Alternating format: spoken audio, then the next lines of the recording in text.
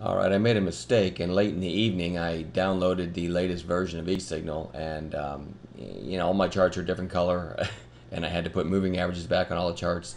Um, it didn't save my settings, so anyway, uh, it took up a lot of time. So a late video here, um, and I want to get used to looking at black charts, um, which I'm actually happy to do. I last time I went through and changed all of them to kind of an off-white, but um, I actually think it's going to be easier on my eyes. But at the same time, as silly as this sounds when you get used to looking at these same exact chart setup over and over and over, and then you switch one little thing like the color, um, it literally can throw you off for a while. Um, I know that sounds silly. So anyway, um, and I'm not sure how, how well these are going to come out on video, but I guess we'll see. Anyway, YOD, um, you get three red candles. I'd like to see this get down maybe below the eight day moving average, but then it'll go on bounce watch. I think it's certainly worth having on a chart tomorrow, but I think it's a little early looking for a bounce in that one, but probably not tomorrow. Abercrombie and Fitch, um, again, 30 is such a significant area. I got to get used to these charts again. So there's the weekly. And you can see how significant the 30 area is. Yes, we're below it. Um, all right, there. I threw a line in there so you can see we are, you know, basically kind of right at that area. Remember, support and resistance are areas, not exact numbers. So I still think ANF uh, is worth watching. Go back to the daily now. Um, because we had a couple days down, today was kind of a narrow range, especially compared to yesterday. And, um, and it looks like we might be trying to turn up. So I'm actually looking for a bounce in this one tomorrow. if anybody knows, by the way, my old version of eSignal, I could have these uh, time frames, one minute, two minute, and so on. I could have them all on my title bar and just click on them. And I loved that, and I cannot figure out how to do that on this one. So if anyone knows, shoot me an email. I'd be thrilled. Um, okay, S-U-N-E. That didn't work either.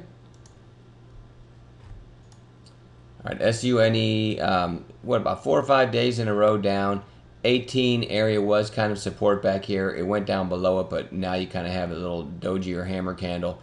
Um, if solars get any kind of bounce, I'm looking for this one to come back up into this range. So that's just on bounce watch. K-A-T-E. Um, very nice pop a couple days ago. A couple um, lower volume days down. That goes on bounce watch. JKS another solar. Um, really kind of finding its, its, support here and closing at, at the top of the, almost the top of the range today. I like this if it gets back up over the 20 days. So let's watch JKX, 8, I can't talk, JKS, Activision ATVI. Um, gapped up the other day and then found support and it looks to be headed higher. It's right at the 200 day, but the fact that it closed near the top of its range today, um, this one could come up and retest the recent highs uh, around 2150. So I want to watch ATVI. Lionsgate LGF probably running into the um, uh, oh, what's that what's that movie? Hunger Games. Sorry, just thought of it. Uh, probably running into the release of Hunger Games. I'm not even sure what the date is, but a very nice pop today and not a lot of resistance in the way. So um, I want to watch this for a continuation tomorrow. And OCN kind of an ugly chart here. Um, but this could have been capitulation. It held for a while, popped, pulled back, and now looks to have found a higher low here. And it really had a nice finish if I switch to uh, five-minute candles. Check out this finish on the day. Uh, finished very strong, so that's interesting to me. It makes me want to makes me want to watch it tomorrow. All right, um, that's the list I'm starting with. The guys do a great job, man. Check out the results page from today, or, or I tweeted uh, I tweeted a screenshot of what uh, at Zozo Trader on Twitter. It's one of our moderators, been with us like 10 years.